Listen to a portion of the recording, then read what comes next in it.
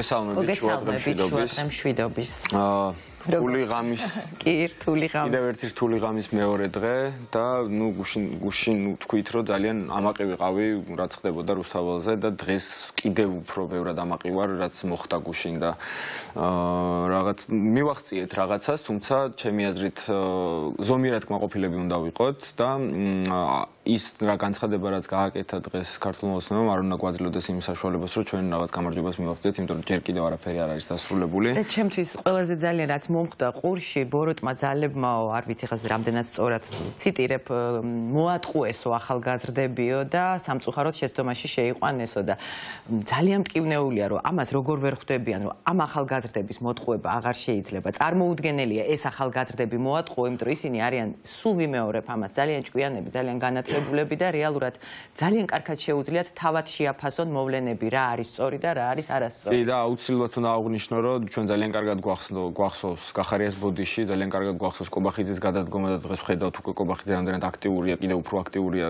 ქართულ პოლიტიკაში.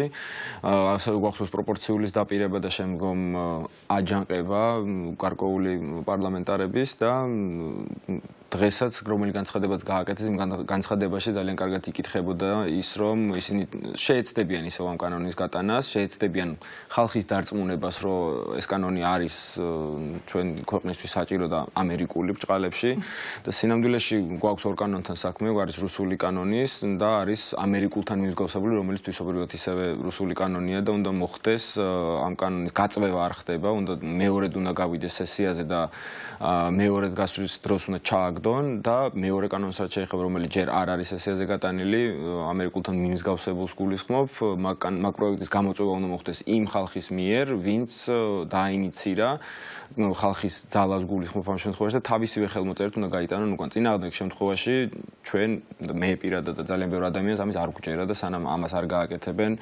არავითარ შემთხვევაში გამარჯვება არ არის ჯერ მოპოვებული. თუმცა მე მაინც მაინტერესებს აი შენი აზრიც თვლი თუ არა იმას რომ ხელისუფლებამ დაინახა ახლა ხალხის ძალა, ახალგაზრდობის ძალა და დაიხია უკან. კი, მაგიტო ვარ ზუსტად ძალიან გახარებული და ამაყი, რომ ეს რაღაც ტაქტიკური უკან დახევა გამოწეულია იმ მართლა ხალხის ძალის, რომელიც ჩვენ გუშინ ვაჩვენეთ რუსთაველს. და ზუსტად ის ძალა, ის ახალგაზრდების, ახალგაზრდებს უნდა მოусმინოთ ახლა გმირების შვილებს, რომლებიც კომენტარს გააკეთებენ და ხოლმე გავუშვათ ვიდეო ძალიან. გავუშვათ ვიდეო.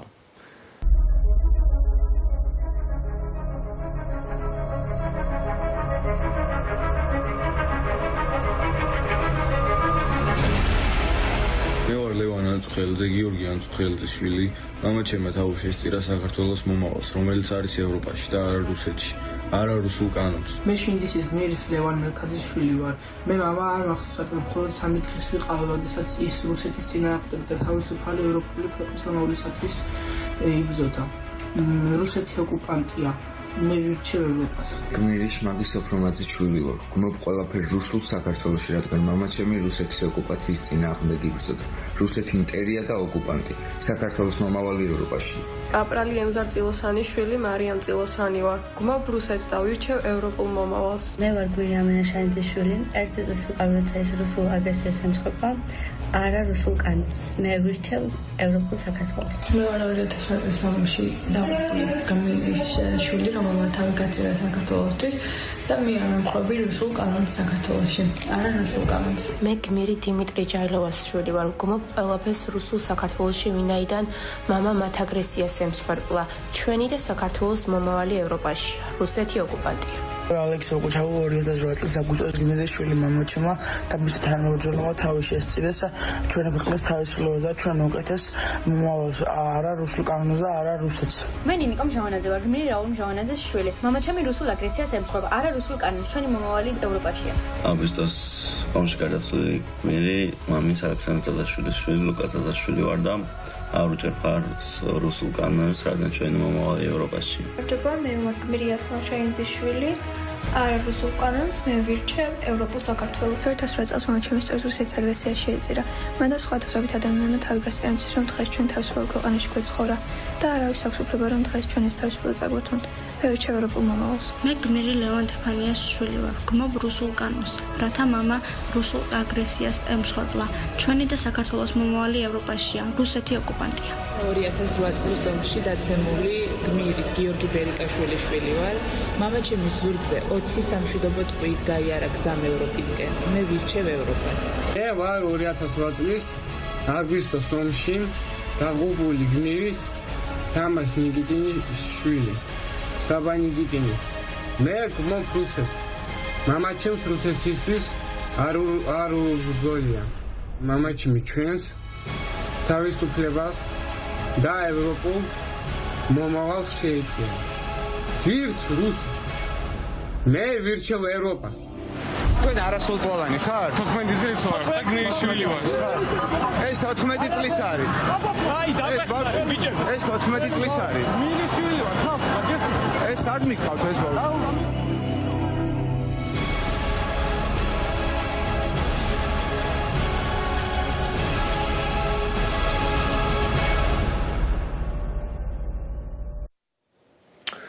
ძალიან რთული ამ ვიდეოს ემოციების გარეშე უყურო და ესეთი ბავშვები და მათი სიტყვები კიდე ერთხელ მარწმუნებს იმაში რომ ქვეყანაში რუსეთი არასდროს აღარ დაბრუნდება და ვერ დაბრუნდება. ვერ დაბრუნდება, ვერ დაბრუნდება ვერასდროს და ვერ მოატყუებს ვერავინ ამ ახალგაზრდებს და ამ თაობას. ეს არის გამორიცხული. ნამდვილად.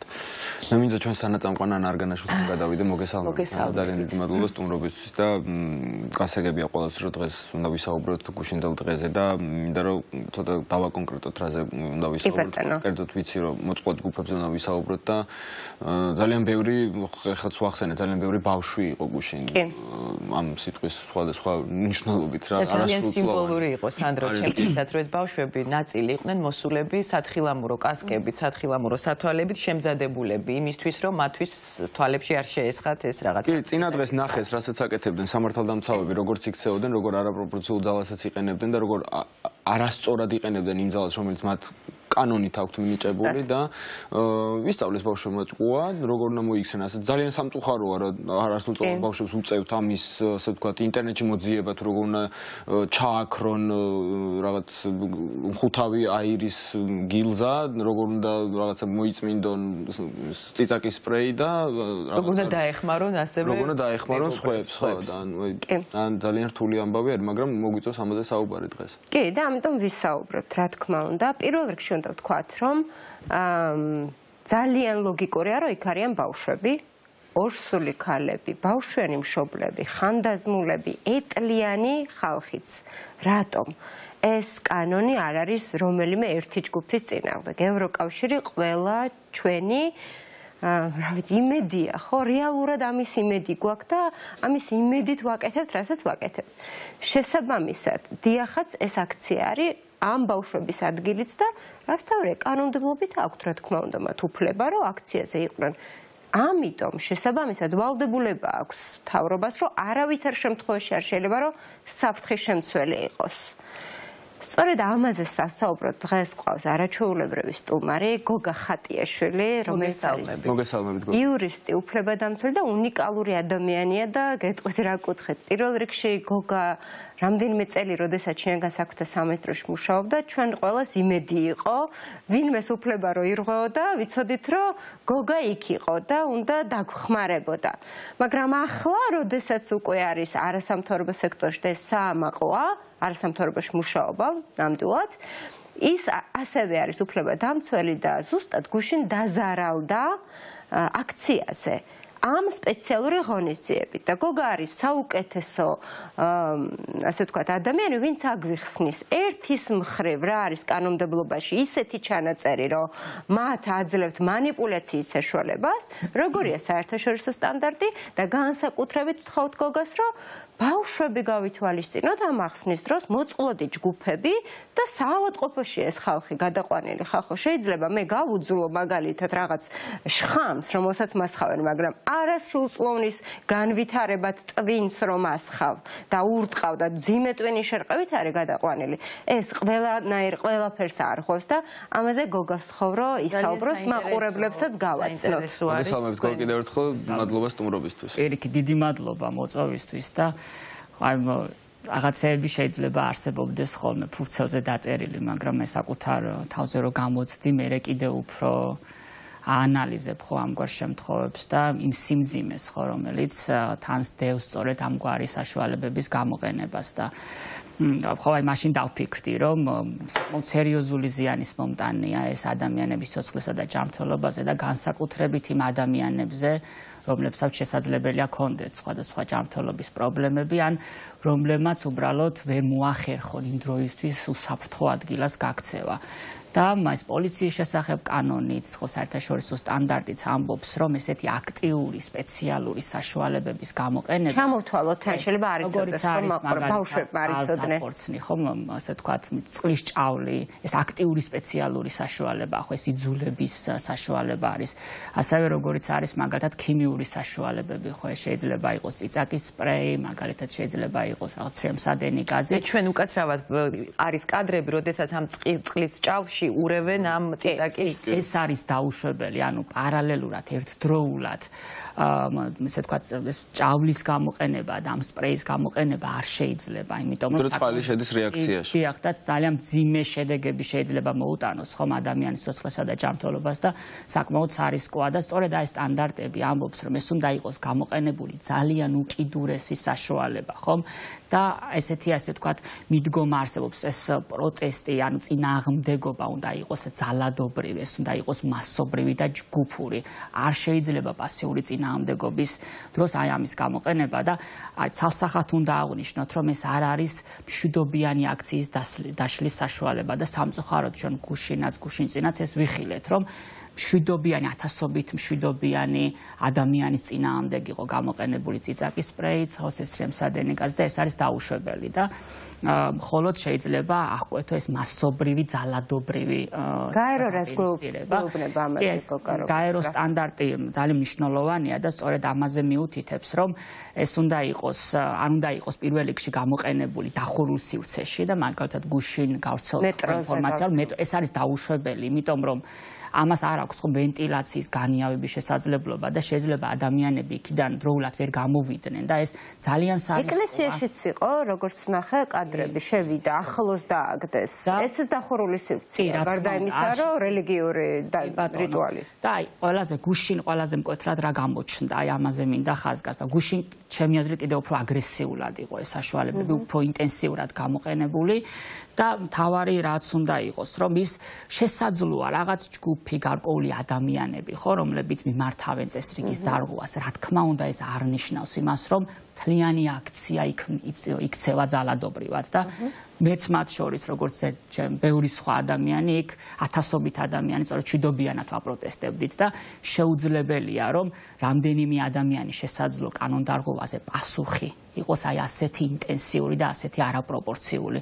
ამას ამბობს სწორედ საერთაშორისო სტანდარტი. უბრალოდ პოლიციის შესახებ კანონი არის ძალიან ზოგადი და შეიცავს აი ბოროტად გამოყენების რისკებსაც კი რომ შესაძლებელია გარკვეულ შემთხვევებში ადამიანებმა ის შესაძლებლობა რომელიც კანონში არის გამოიყენონ ბოროტად და მიმართონ მშვიდობიანი ფართო დისკრეციული უფლებამოსილებები ეძლევათ კი და ეს მართლა საშიში საშუალება არის ანუ არ არის სახუმარო ადამიანების წინამდებ მისი გამოყენება და აი გუშინ რა იყო განსაკუთრებით თვალსაჩინო რომ ეს ასე ვთქვათ შემსადენი საშუალებები გამოიყენეს ძალიან ინტენსიურად მშვიდობიანი მოსახლეობის და მოქალაქეების წინააღმდეგ და ადამიანებს არ ქონდათ გაქცევის შესაძლებლობაც კი ეს პირველი წესი რაც არის ესე დროს რაც ვიცით რომ უნდა გაიქცე და უსაფრთხო ადგილას დადგე ხო? და აი ამის შესაძლებლობასაც კი იყვნენ მოკლებულები და კიდევ ერთი პრობლემა რომ ადამიანები იქ ვიდექით ძალიან მჭიდროდ ხო ბევნი და იმის საფრთხეც არსებობდა რომ შესაძლებელია ერთმანეთი გადაგვეთელა ხო? იმიტომ რომ ყველა ესე დროს ყველაზე საშიში რაც არის ამ დროს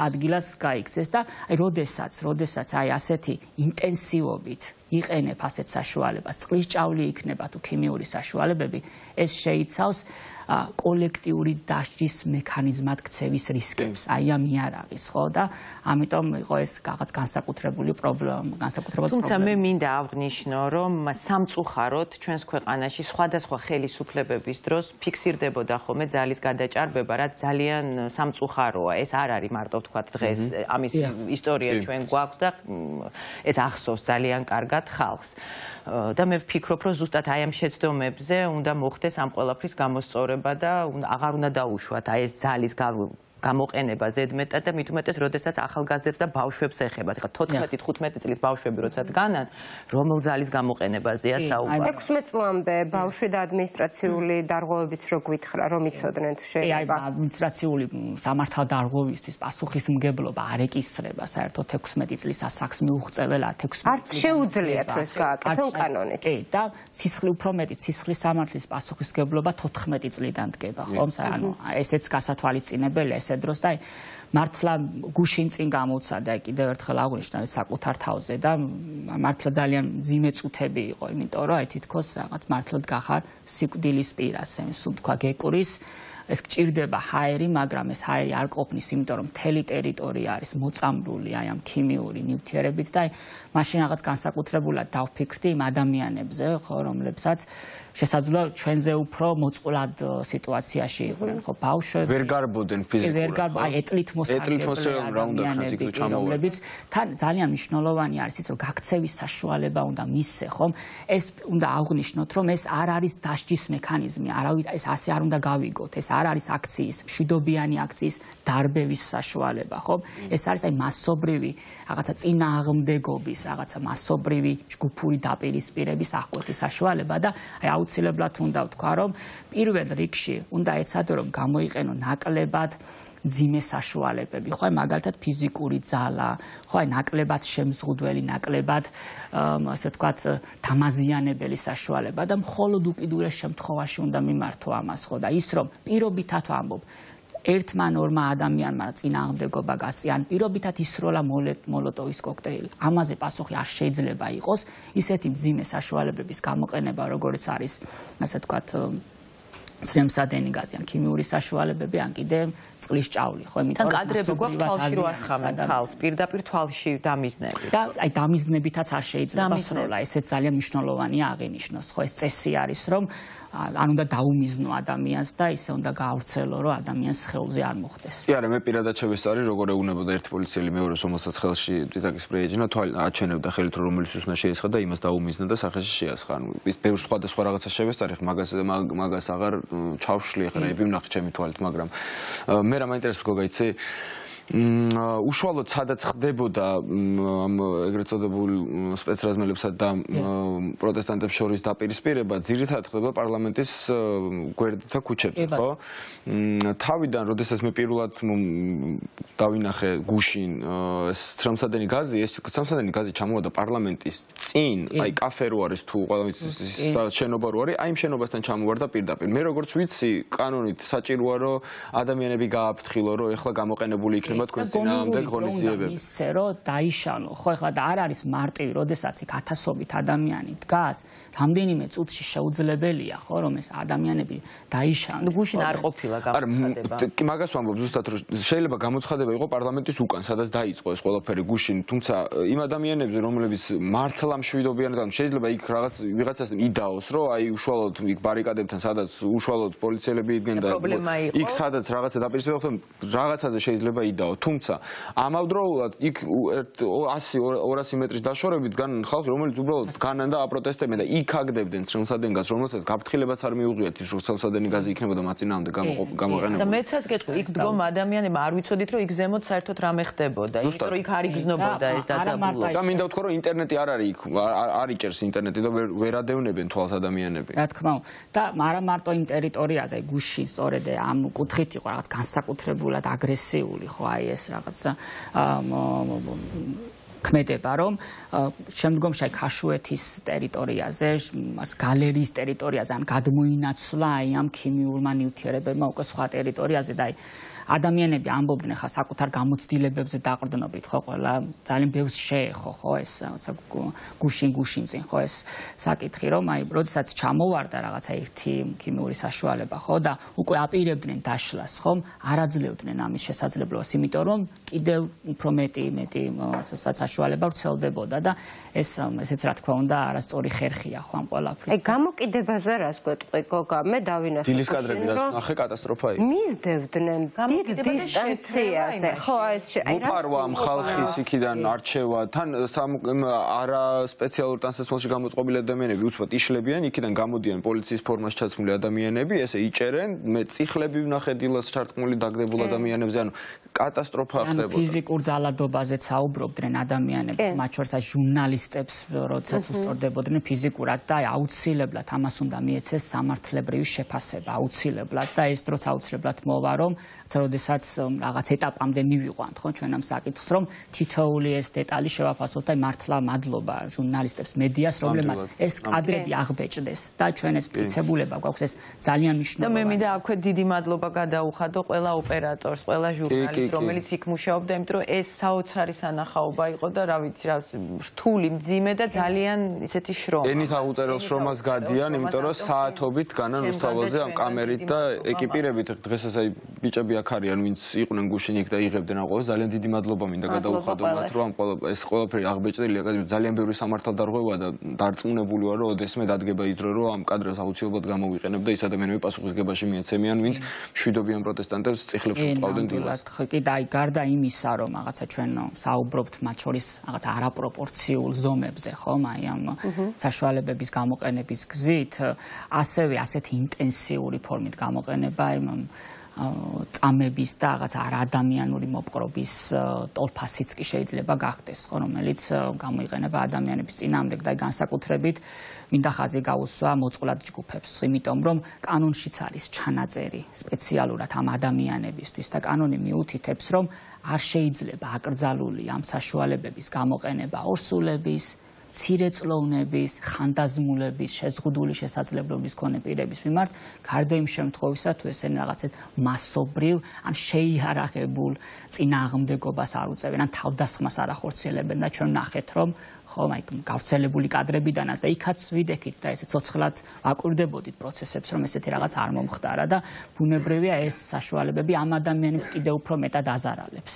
ჩვენ ვეძებთ სხვათა შორის ამ ადამიანებს და და მიუმართოთ ეხლას. თუ დაზარავდა ვინმე ბავშვით ბავშვი შშმ პირი მისი მომვლელი იმიტომ რომ მის მომვლელს რო აკავებ შშმ პირი სახში მარტო რჩება და შეიძლება ცუდად იყოს ხო? ხანდაზმული ყველა ამ ადამიანს ვეძებთ იმიტომ რომ ჯერ ერთი ჭირდება სპეციფიკური მხარდაჭერა და დახმარება ხო და მეორეც ერთი უნდა დაიწყონ ამ ადამიანებმა დავა. ჩვენ ესე ვფიქრობთ.